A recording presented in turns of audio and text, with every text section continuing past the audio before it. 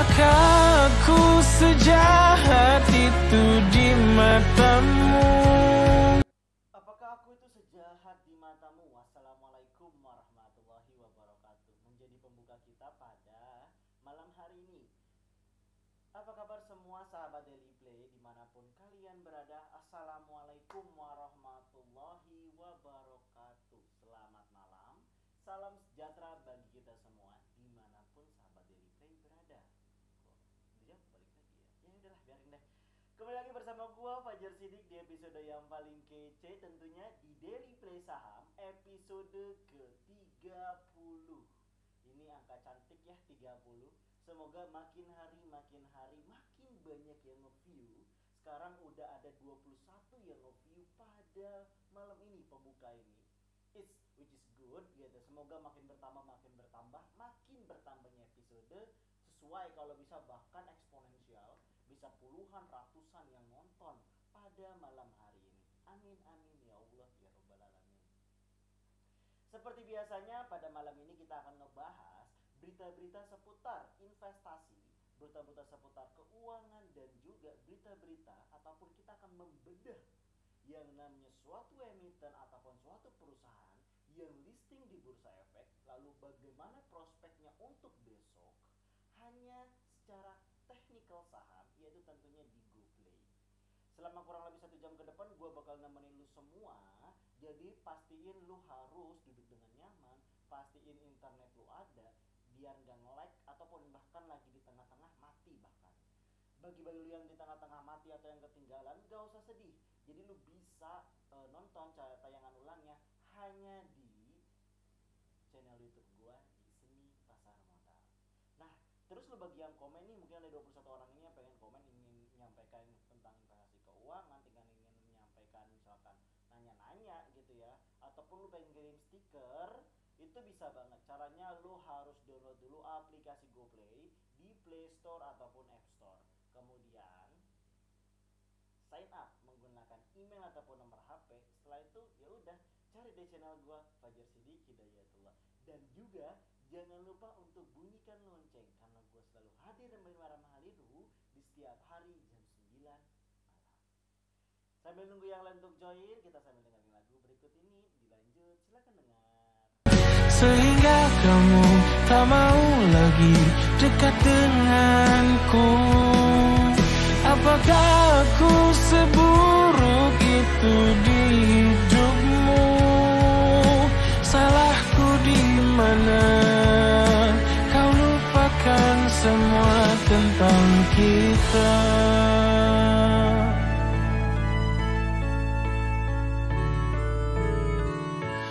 Kita telah berjanji Untuk tak saling menyakiti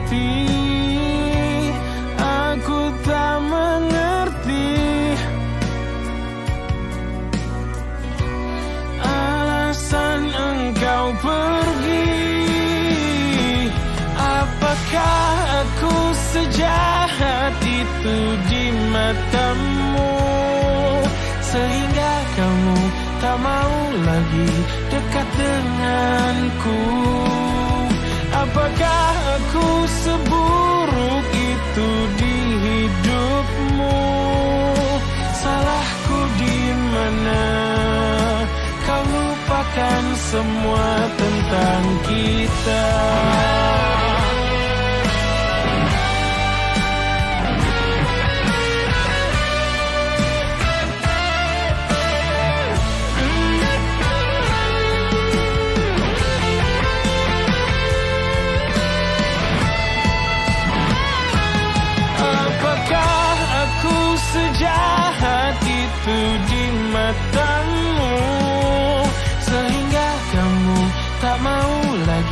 dekat denganku Apakah aku seburuk itu di hidupmu?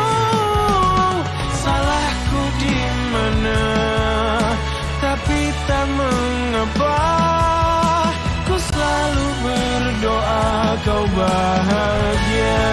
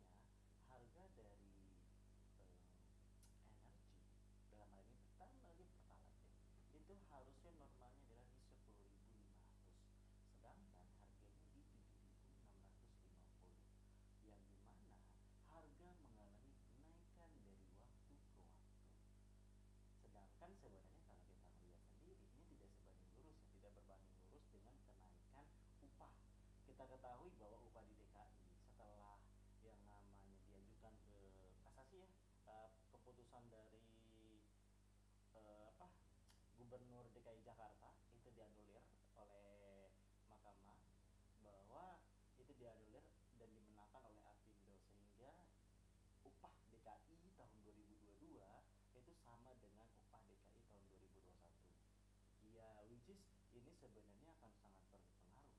Berpengaruh terhadap apa? Berpengaruh terhadap yang namanya daya jual beli masyarakat. Daya jual beli masyarakat pasti akan menurun. Karena kenapa? Ini ibu kota gitu Jakarta merupakan ibu kota. Walaupun kesannya itu tinggi tapi kenyataannya tidak setinggi tinggi itu amat. Karena kenapa ibarat aja misalkan lu bawa mobil harga tol aja berapa harga bensin aja berapa ataupun lu naik motor deh berapa killing time yang harus digunakan berapa cost time dan cost energi yang digunakan untuk perjalanan yang menyebabkan macet dan sebagainya macamnya menguras emosi jiwa dan raga. Karena kenapa? Karena mereka dari Bogor atau dari mana kerjanya di Jakarta dan balik lagi ke Bogor atau di Jabodetabek deh. Ini menandakan di mana mereka mengharapkan switching life dari misalkan dari golongan bawah menuju ke golongan menengah dari menengah ke atas. Harapannya seperti itu. Tetapi dengan dianulirnya yang namanya kebijakan ini ya dari DKI dari gubernur DKI iya nggak salah-salah amat di mana Apindo memenangkan hal tersebut dominonya panjang. Di mana salah satunya ya tadi daya jual beli masyarakat. Sedangkan di Indonesia itu sendiri ya ini lagi dikembangkan lagi digiat-giatkan bahwa daya jual beli masyarakat harus setinggi tingginya kalau tidak kita ketahui bahwa Rusia Ukraina perang tersebut yang sudah berjalan beberapa bulan itu sangat mempengaruhi keadaan makro global dan mikro global termasuk salah satunya di bidang energi yang menyebabkan harga-harga dari komoditas itu mengalami kenaikan yang luar biasa. Kita ketahui seperti emas, seperti batu bara, seperti perak, seperti timah, seperti minyak itu mengalami kenaikan puncak-puncaknya setelah beberapa tahun terakhir atau puluhan tahun terakhir adalah pada saat krisis-krisis seperti ini. Global sudah me, apalagi di Eropa sudah mengumumkan bahwa akan terjadi krisis pangan yang besar yang terjadi di Eropa sehingga perlu yang namanya switching life harus dicari strategi lain bagaimana menangani hal tersebut jika Rusia dan Ukraina terus berperang dalam jangka waktu yang. Salah satunya itu adalah bagaimana pemasok-pemasok batu bara yang misalkan berasal dari Rusia itu berasal dari Indonesia. Seperti berita berikut ini. RI bakal isi kekosongan pasokan batu bara yang ditinggal Rusia. Jakarta, Menteri Daya Mineral Arifin Tasrif mengatakan, Indonesia akan meningkatkan produksi untuk membantu memenuhi permintaan dari negara-negara yang kehilangan pasokan dari Rusia. Hal ini disampaikan Arifin dalam agenda Sydney Energy Forum yang diselenggarakan oleh pemerintah Australia dan Badan Energi Internasional pada 12 sampai 13 Juli 2022. Arifin mengatakan, negara-negara yang menolak disebutkan namanya telah meminta batu bara dari Indonesia setelah sanksi terhadap Rusia atas invasinya ke Ukraina yang disebut Moskow sebagai operasi militer khusus. Kami akan membantu setiap negara yang kekurangan bahan semacam ini sebanyak yang kami bisa, kata Arifin dilansir melalui Reuters Rabu 13 Juli 2022. Lebih lanjut, Arifin mengatakan target produksi batu bara Indonesia tahun ini adalah 663 juta ton.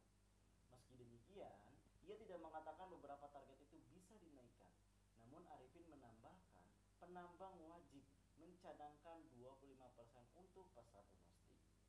Kita punya sumber daya, kalau kita melihat keseimbangan, kita harus meningkatkan produksi kita. Di sisi lain, Arifin menambahkan meskipun kondisi Eropa sedang kekurangan batu bara, batu bara Indonesia memungkinkan untuk tidak memenuhi spesifikasi mereka. Dengan demikian, para pembeli mungkin dapat menyesuaikan sistem pembakaran jika situasinya sangat mendesak, terutama memasuki musim dingin di akhir tahun, kami tidak ingin membiarkan orang menderita tanpa batu bara. Kami harus melakukan sesuatu di kedua sisi, kata Arifin. Sebagai tambah informasi, konferensi di Sydney ini difokuskan keamanan energi dan cara untuk mempercepat transisi ke netral karbon.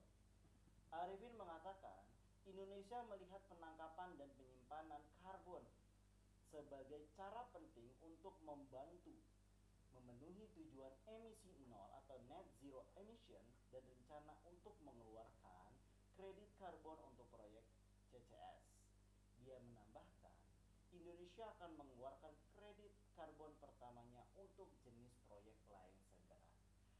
Kalau kita bisa melihat di sini bahwa ini adalah salah satu kabar positif yang diberikan ya atau isu positif ya yang diberikan dari pemerintah kita bahwa ada bangsa pasar lebih nih di mana salah satunya itu berasal dari Eropa yang kita ketahui sendiri ini termasuk dalam langkah sejarah banget di mana satu euro sama dengan satu dolar artinya itu sebegitu parahnya sebenarnya apa yang terjadi di Eropa sehingga menyebabkan harga satu euro yang biasanya selalu perkasa dibanding dolar sekarang sama dengan dolar.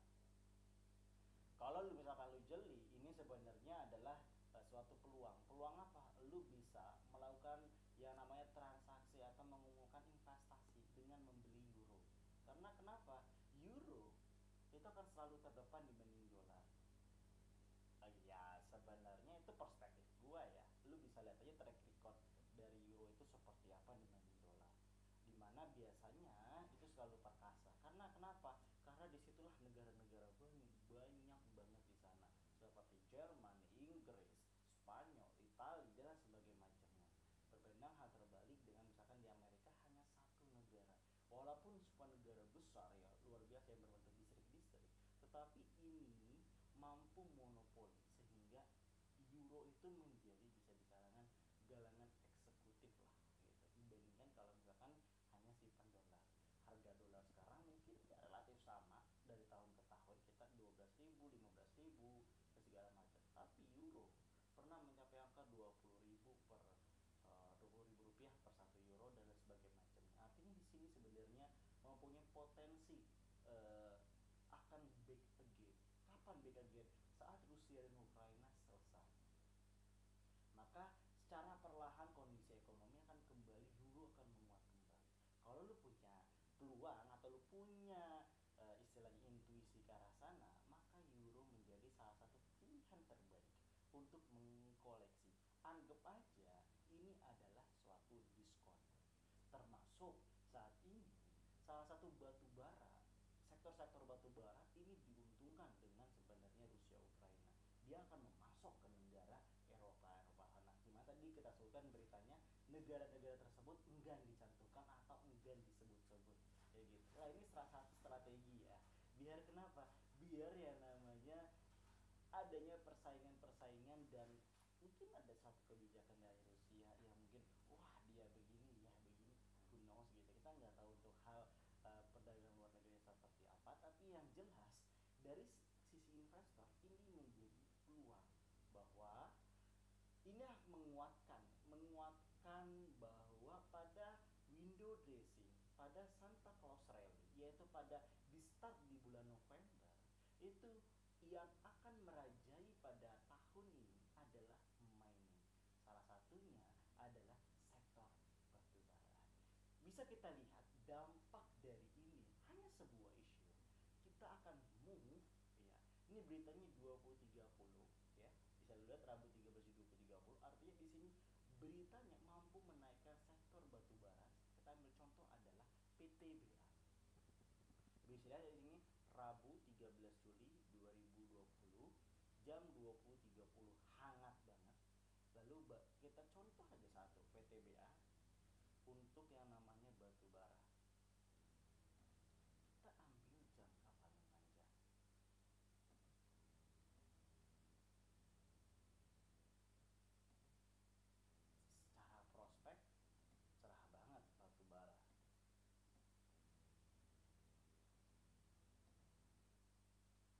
bisa kita lihat di sini atau kalau berapa kuat sih sebenarnya momentumnya di sini gua akan masukin ini ADX dan di sini gua akan masukin money flow index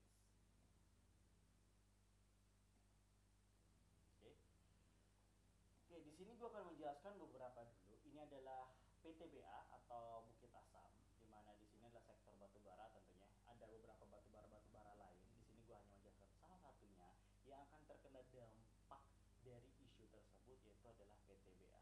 Kita ketahui secara kalau kita lihat dari sini sejak sebenarnya Agustus 2021 sampai dengan sekarang 14 atau 13 Juli 2022 itu mengalami kenaikan yang linear ya bisa dibilang linear nggak eksponensial tapi linear hal ini ditandakan dengan di sini gue pakai dua indikator. Yang pertama ini adalah indikator ADX dan yang kedua adalah indikator money flow index. Apa ini keduanya? Di sini gue akan berbicara pertama adalah ADX. ADX adalah indikator untuk melihat yang namanya kekuatan dari suatu tren. Apakah trennya itu strong trend, lalu apakah middle trend ataupun weak trend.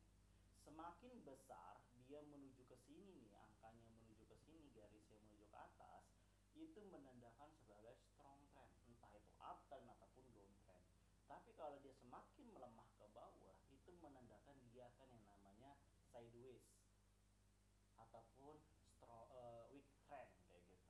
Nah kita bisa ketahui bahwa secara momentum sebenarnya dia berada di bawah di kisaran 14 artinya di sini dari PTBA sendiri pada beberapa waktu akan yang namanya slow down dulu atau yang bisa dibilang adalah uh, sideways. Di mana pola sideways dia kalau kita tarik gambarnya nah,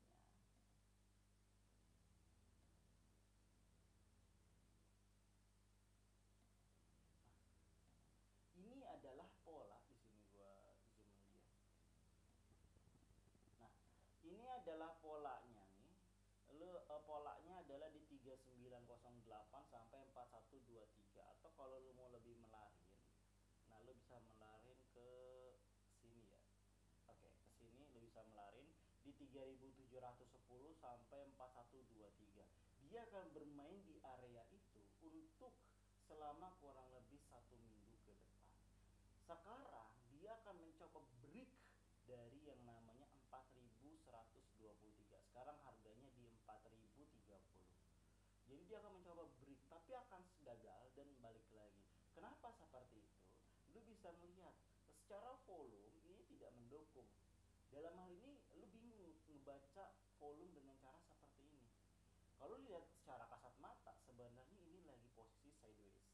Tapi yang perlu diperhatikan adalah di sini makanya gue bilang indikator flow index di mana indikator ini melihat seberapa besar sih volume yang masuk yang ada di PTBA secara overall dia berada di kondisi sebenarnya tidak distribusi-distribusi amat gitu. Tidak distribusi-distribusi amat tapi dia berada di yang namanya akumulasi tipis. Jadi dia masih dalam fase sideways nih dia lagi menentukan arah mau dinaikin atau enggak atau bakal diturunkan distribusi jadi sampai sejauh ini sebenarnya dia masih akumulasi akumulasi tipis yang terjadi pada PTBA.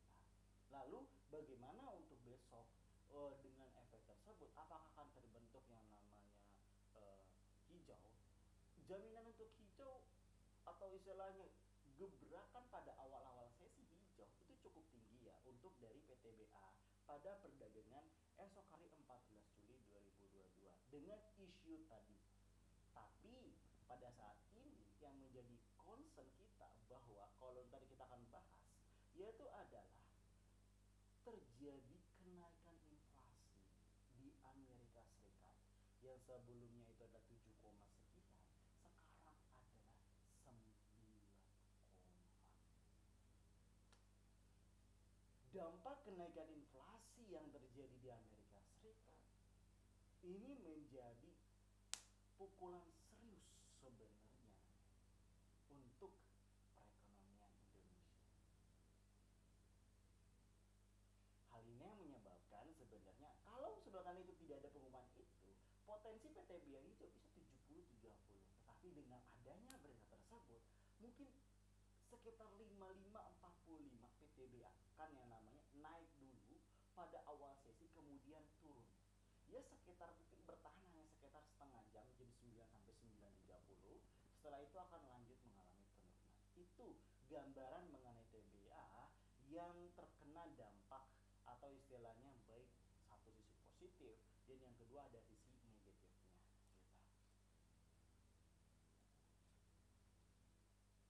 Lalu di sini bagaimana nih untuk dari sahabat DDP 22 orang? Apakah sudah? Atau mungkin ada yang nggak setuju? Bang gua nggak setuju nih bahwa batu bara menjadi sektor yang paling populer atau yang menjadi peluang terbesar pada saat window dressing ataupun Santa Claus Rally. Apa itu window dressing ataupun Santa Claus Rally? Jadi window dressing atau Santa Claus Rally adalah suatu fenomena yang biasa sebenarnya gitu. Di mana sini ya bahasa halusnya itu adalah tempatnya para trader harian saham tentunya itu meraih cuan sebanyak-banyaknya. Karena kenapa? Mau cap cip cip cap cap cip cap emiten biasanya itu akan selalu hijau. Dan akan para bermunculan tuh para analis-analis di panjujuju itu ya yang akan memberikan rekomendasi-rekomendasi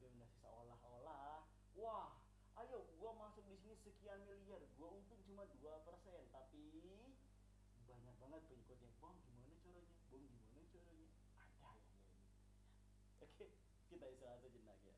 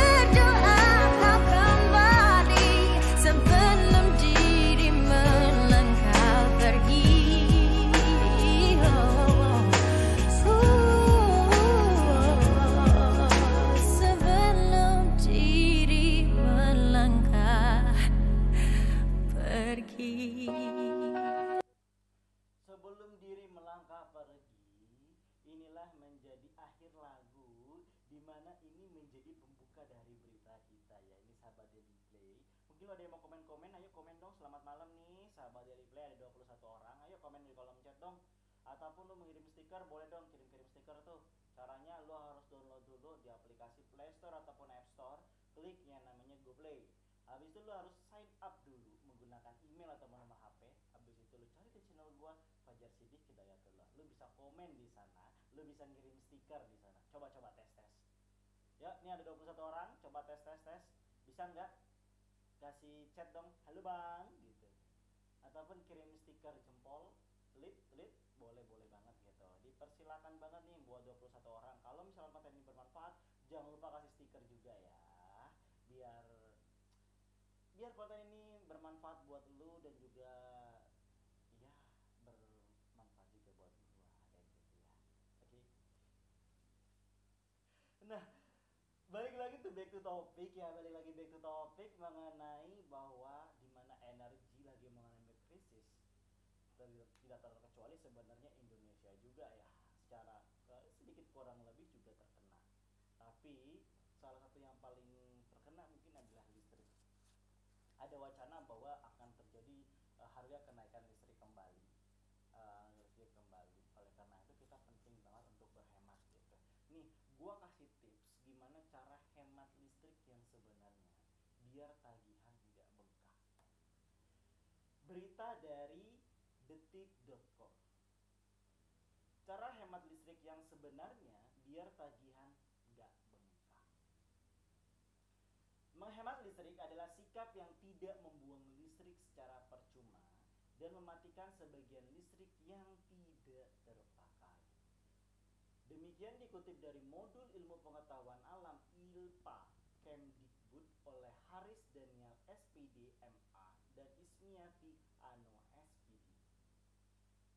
sendiri digunakan untuk memudahkan kegiatan manusia sehari-hari.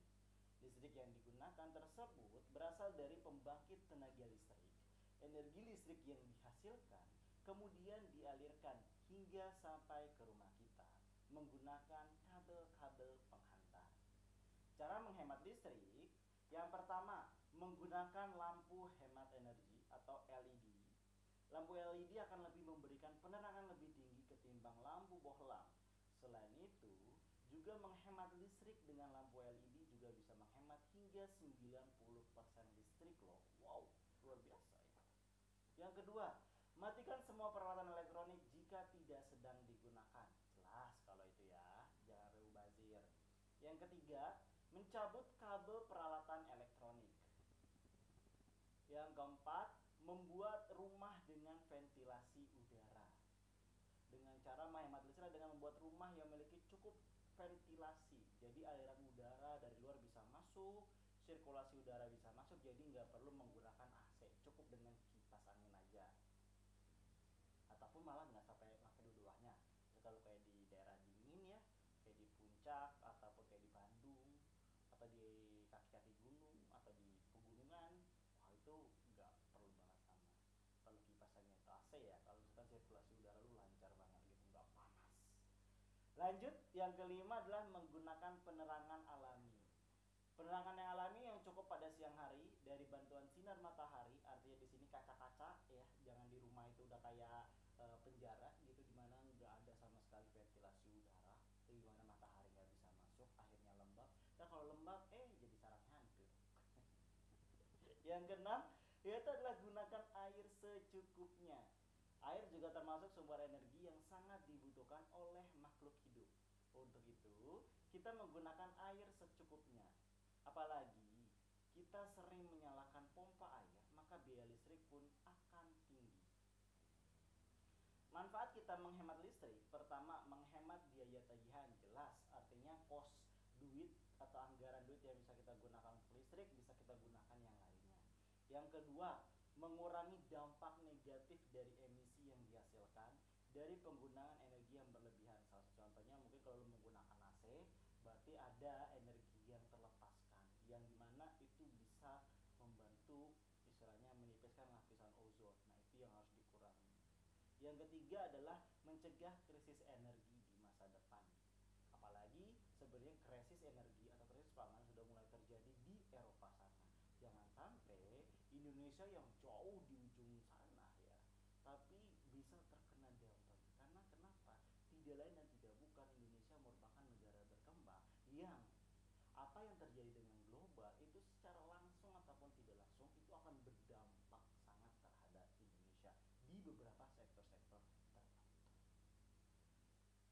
Nah, kurang lebih itu untuk e, cara hematnya ya. Mungkin di sini mungkin lo ada nih 21 orang e, yang sekarang masih standby nih sahabat Daily Play.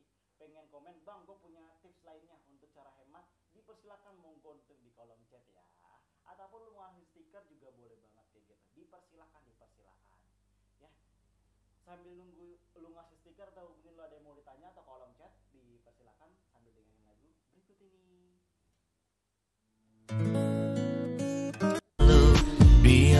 Biar hujan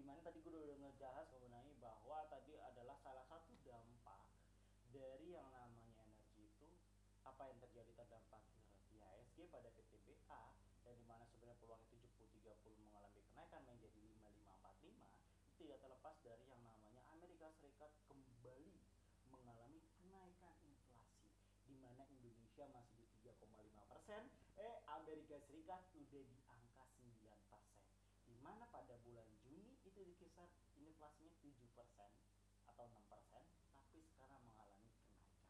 Hal ini menandakan bahwa fix di bulan Juli bisa jadi the Fed ya hampir 80-90% itu akan kembali menaikkan suku bunganya.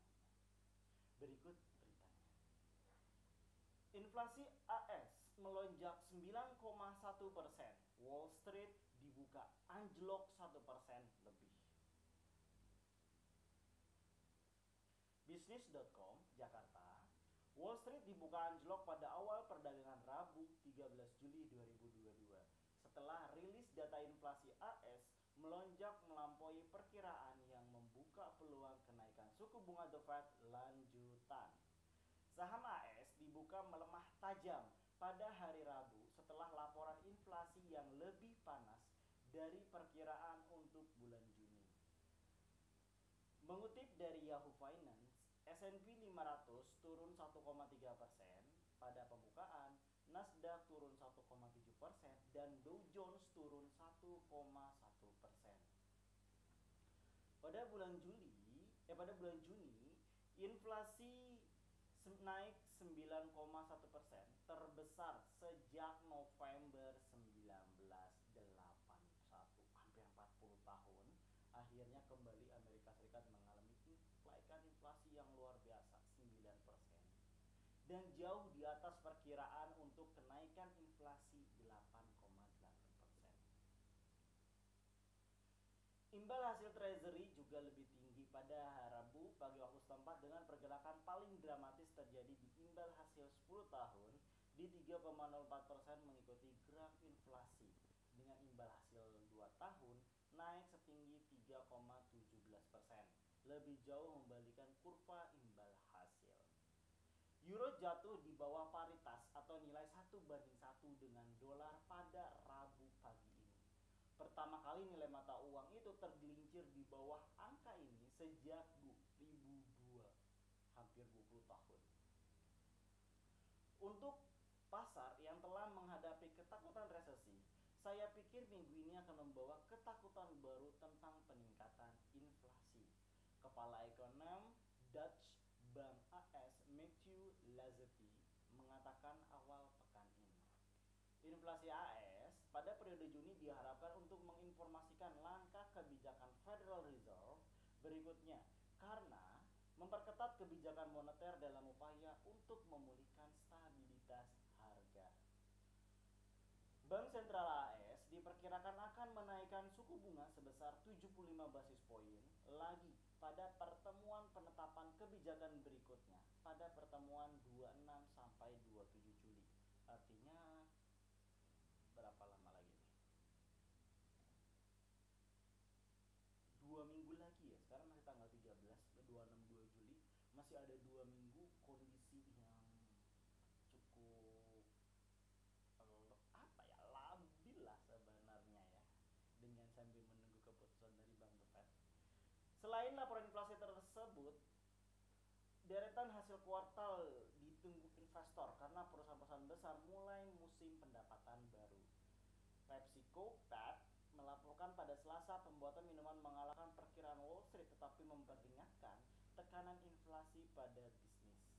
Inflasi tahun ini lebih tinggi daripada untuk paruh pertama tahun ini, kata CEO Pepsi Hal Johnson kepada analis melalui telepon. Kenaikan harga yang inflasi dan suku bunga yang lebih tinggi akan menjadi fokus di kalangan investor karena nama-nama besar lainnya di antara hasil risk corporate Amerika. Hal ini selaras, jadi apa yang terjadi akan melanjutkan yang namanya penurunan yang ada di IHSG. Pada hari ini tanggal 13 Juli 2022, IHSG sama dengan Dow Jones dan sebagainya macamnya anjlok 1,15% ke level 6640 dan akan melanjutkan penurunan kembali setelah pengumuman ini. Berita ini rilis tadi malam, berarti uh, besok pagi itu akan terjentuk yang namanya gap down atau sepanjang hari itu akan yang namanya koreksi turun. Berita dari kontan.co.id Jakarta, indeks harga saham gabungan turun di hari ketiga berturut-turut Rabu 13 Juli. IHSG anjlok 1,15 persen. IHSG terseret pelemahan 10 indeks sektoral hingga tutup pasar hanya sektor batu bara atau barang baku yang berakhir di zona hijau dengan kenaikan tipis 0,06 persen. Sedangkan sektor teknologi turun paling dalam hingga 1,77 persen. Sektor barang konsumsi non primer merosot 1,31 persen. Sektor energi tergerus 1,05 persen. Sektor transportasi dan logistik melorot 1 persen.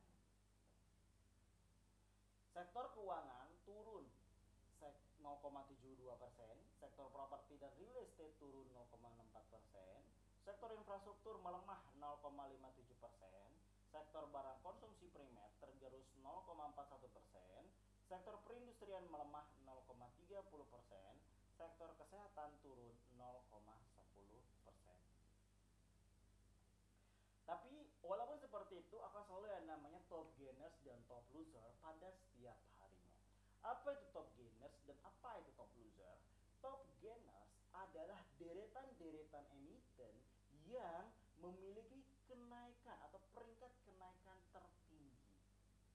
Itulah yang disebut sebagai top gainers. Sedangkan top loser adalah peringkat-peringkat atau istilahnya tiga besar atau lima besar yang memiliki penurunan terdalam. Sebagai top loser. Lalu apa itu LQ45?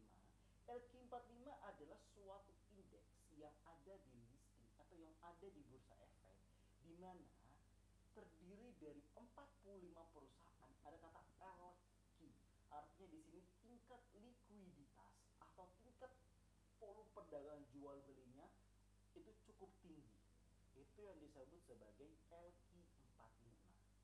Dalam hal ini, top gainers dalam LQ45 hari ini Bevin sekitar 10% kenaikan, ada BRPT mengalami kenaikan 6,06%, ada UNTR mengalami kenaikan 5,01%. Lalu yang ada top loser LQ45, ASI minus 4,51%, MNCN minus 4,21%, dan yang terakhir EMTK minus 4,18%.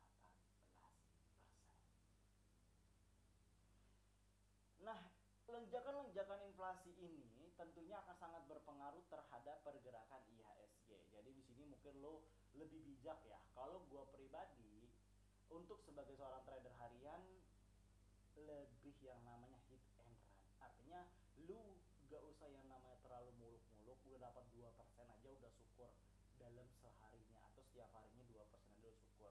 Tapi kalau lu sebagai swing atau adalah seorang long invest maka ini adalah kesempatan emas untuk meraih untung sebanyak-banyaknya. Kemarin udah kita bahas bahwa ada hampir banyak emiten ya, emiten-emiten blue chip bahkan yang mengalami penurunan atau diskon yang luar biasa besar seperti Telkom, seperti BRI, Mandiri, BNI, lalu ada BCA, lalu ada apa lagi? Eh, apa ya? Kemarin tuh eh, lupa gua lu baca aja nonton di videonya hari di channel itu gua di sini pasar modal di episode ke 29 ya. Perihal list list emiten emiten yang lagi diskon luar biasa. Uh, yang di mana lu bisa manfaatin sebenarnya mendapatkan harga-harga yang paling murah. Atau istilahnya lu tinggal ah pengen untung 10% lu masuk yang diskonnya 10% ah pengen untung yang 5% lu masuk yang diskonnya 5% itu minimal yang didapat safety yang didapat. Gitu. Termasuk untuk perdagangan hari ini dengan terjadinya lonjakan nih sahabat Daily Play ini ada 21 orang. Nih kalau lu pengen melakukan tetap melakukan trading saham pada perdagangan esok nih ada beberapa perusahaan ataupun emiten-emiten yang bisa lu menjadi patokan. Untuk ya untuk membeli emiten. Apa aja itu? Lihat. Berita dari harian bisnis Indonesia. Lonjakan inflasi AS bisa tekan IHSG besok cek rekomendasi sahamnya. Bisnis.com Jakarta, indeks harga saham gabungan diprediksi akan melanjutkan koreksi pada perdagangan besok, Kamis 14 Juli 2022, di tengah sentimen lonjakan inflasi AS. IHSG ditutup tadi kita ketahui 1,15 persen. Analis Arta Sekuritas Dennis Christopher Jordan dalam risetnya menjelaskan IHSG ditutup melemah setelah bergerak dalam area negatif sejak awal sesi perdagangan dipengaruhi kekhawatiran akan kenaikan suku bunga akhir bulan ini tadi kita umumkan 26 sampai 27 Juli jadi setelah The Fed baru Bank Indonesia ini serta didorong pelemahan bursa saham secara global. Denis memprediksi IHSG akan melemah pada perdagangan besok. Secara teknikal candlestick membentuk long back body. Ah, dengan stochastic membentuk dead cross mengindikasikan potensi pelemahan dengan rentang mencapai support level lower Bollinger Bands. Investor akan mencermati beberapa data ekonomi yang diperkirakan dapat mempengaruhi kebijakan suku bunga akhir bulan ini. Selanjutnya, Denis memperkirakan ISG bergerak pada level 6576 dan 6608 serta resisten 6699 dan 6758. Mari kita lihat dulu ya, kita lihat dulu untuk dari uh, IHSG.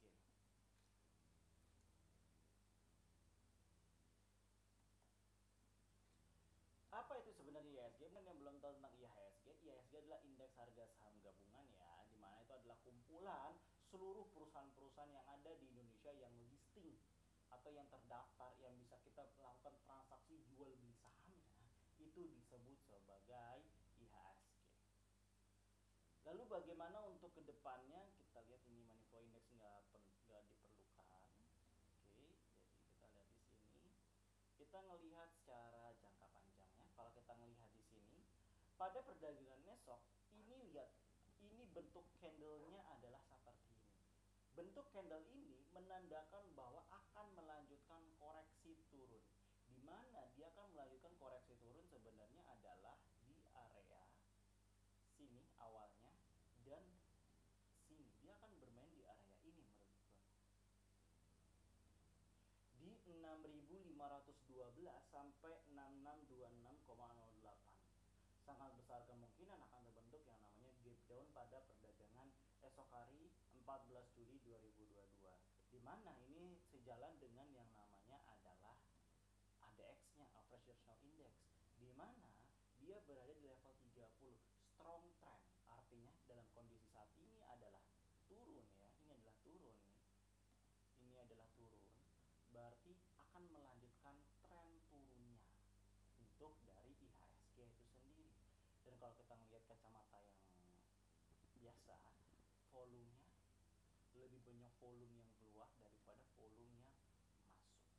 Lalu bagaimana untuk besok? Jadi besok tuh bisa sebenarnya bisa bergerak di 6512 sampai 6626 tapi untuk lebih pastinya kita harus lebih rinci lagi. Ini adalah kalau misalkan kita bermain maka dia akan seperti ini Bentar.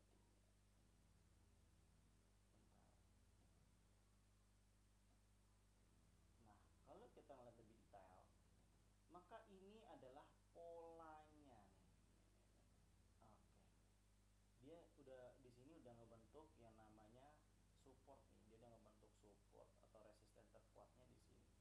Nah jadi dia akan bermain untuk dari IHSG kalau untuk besok itu akan bermain di area 6611,54 sampai 6678 6676 eh 6676,05 sama nggak tadi? Coba. 6611 6611 6611 sama 6611 berarti di sini ya eh di sini ya enggak enggak masuk sih daerah sini mendekati 6608 lalu sampai 6676 di sini 66 masih di bawah dari 6699 mereka lebih tinggi lagi uh, untuk yang namanya tarikan garisnya. Tapi kalau menurut gua sendiri dia akan bermain di area sini. Di hal ini tergolong dari trennya. Kalau lihat di sini IHSG masih melemah ini melemah. Kecuali dia berada di atas 30 ya dia 40 maka dia akan melanjutkan menuju sini dan akan jebol ke bawah. Iya.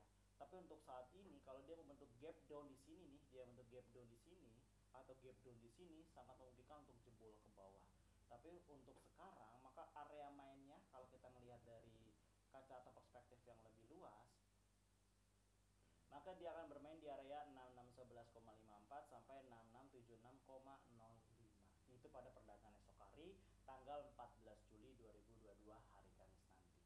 Lalu emiten apa yang menarik untuk ditradingkan pada esok hari kita lihat ini adalah emiten-emiten yang lo perhatikan untuk besok hari. Pertama adalah Adro Adaro Energy jelas mining selalu menjadi primadona pada saat kondisi krisis seperti ini. Adaro Energy target price 3050 sampai 33 3100 entry level di 2900 sampai 2940 stop loss di 2870 candlestick membentuk higher high dan higher low dengan stokastik membentuk golden cross mengindikasikan potensi penguatan. Kedua adalah tower. Sarana Menara Nusantara target price 1190 sampai 1220, entry level 1100 sampai 1130, stop loss 1080. Mengalami koreksi akan uji support tren penguatan. Ketiga XL Asiata EXCL target price 2390 sampai 2440 entry level 2270 sampai 2320 stop loss di 2250 bergerak di sekitar support trend konsolidasi dengan stokastik di area oversold mengindikasikan potensi rebound jangka pendek. Lalu bagaimana secara ininya? Kita coba bedah satu adalah Adaro Energy.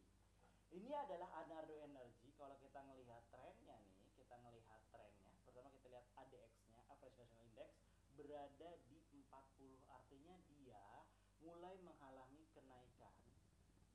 bisa melihat di sini mengalami artinya akan melanjutkan tren naiknya. Ini pola tren naiknya. Jadi lu bisa melihat kalau kita tarik atau mempertemukan maka inilah eh, area-areanya. Nah jadi dia akan melanjutkan di sini. Jadi kalau misalkan lu terbaik ya lu untuk beli atau ini jadi lu bisa beli di area ini nih di area ini di 2874 dan jualnya itu sekitar mungkin nanti adalah sekitar jam 11.30 ya. Jam 11.30 atau sebelum sesi terakhir yaitu di kisaran 29994 2994 itu kalau misalnya kita melihat dari perspektif untuk daily trading untuk besok hari. Gimana untuk strateginya strateginya lu bisa menggunakan ini biar lebih mudah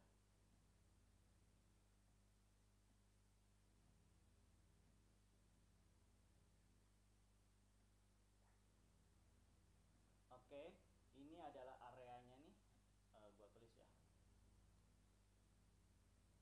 Beli di 2911 sampai 2930 jual di 2930 sampai 3010 atau 3008 ya 3010 lah cut loss atau stop loss da 2912 sampai 2812 ini adalah area trading plan yang bisa lo gunakan untuk adro pada perdagangan esok hari di mana besar kemungkinan dia akan mencapai di 3010 nanti jadi bisa lo manfaatin untuk area belinya di area ini. Jadi bisa lo beli langsung di 2930 dan nunggu untuk dijual di area 3010 apakah ini sama dengan yang tadi kita bisa lihat di sini bahwa dia entry levelnya 3050 sampai eh, target price entry level 2900 sampai 2940 2940 oke sama ya sampai 2940 lalu stop loss di 2870 di sini gua stop loss di 2911 sampai 2812 artinya sama. Lalu di sini adalah uh, target price 3050 sampai 3100 di sini gua lebih rendah karena kenapa Adro itu termasuk yang namanya emiten blue chip artinya untuk naik 2-3 persen aja itu udah luar biasa banget untuk emiten-emiten yang memiliki kapitalisasi yang besar beda halnya kalau misalkan saham-saham yang memiliki kapitalisasi kecil maka 2 persen itu is nothing gitu beda halnya kalau naik sampai 10 persen 15 persen itu sangat mudah banget untuk yang memiliki kapitalisasi yang kecil tapi beda halnya dengan kapitalisasi yang besar. Nah kurang lebih itu yang pada malam hari ini yang bisa gua bahas untuk sahabat daily play. Nggak kerasa udah satu jam ke depan gua eh udah satu jam nih gua nemenin lu semua. Jangan lupa untuk like share dan subscribe dan pantengin channel gua setiap harinya jam 9 malam. Thank you for watching buat 21 orang ini yang udah nonton. Jangan lupa untuk komen-komen ataupun lu kirim stiker atau chat ya kalau misalnya konten ini bermanfaat. Dan kalau pengen lihat rekaman ulangnya lu bisa nonton di channel youtube gua di Seni Pasar Modal. Gua Fajar Sidik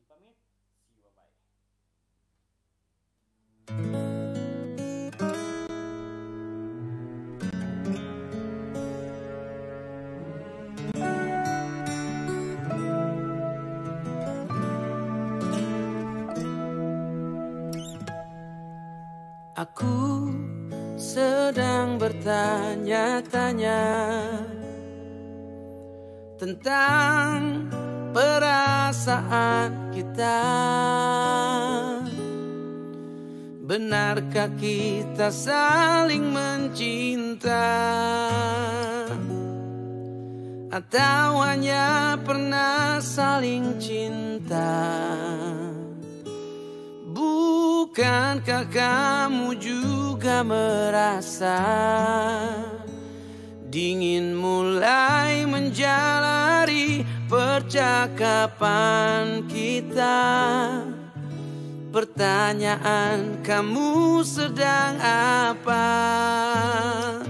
Terkesan hanya sebuah formalitas saja. Coba tanyakan lagi pada